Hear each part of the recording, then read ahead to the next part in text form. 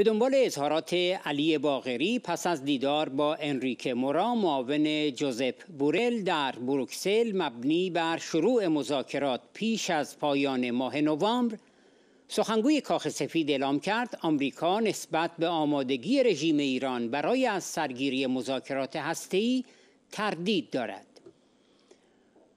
آسوشیتد پرس نوشت روز چهارشنبه پس از اینکه علی باغری مذاکره کننده رژیم ایران اعلام کرد تهران آماده است تا پایان ماه آینده میلادی به مذاکرات هسته‌ای در وین بازگردد. کاخ سفید با تردید به اظهارات وی پاسخ داد. جنساکی گفت مقام های دولت آمریکا از اظهارات باغری آگاه هستند.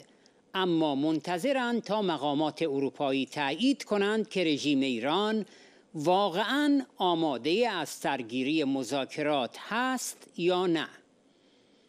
آسوشیتد پرس نوشت گرچه آمریکا و شرکای آن همچنان خواهان یک راه حل دیپلماتیک هستند اما مقامات کاخ سفید می‌گویند در حال بررسی گزینه های جایگزین هستند و تصمیم گیری در این مورد به اقدامات رژیم ایران بستگی دارد.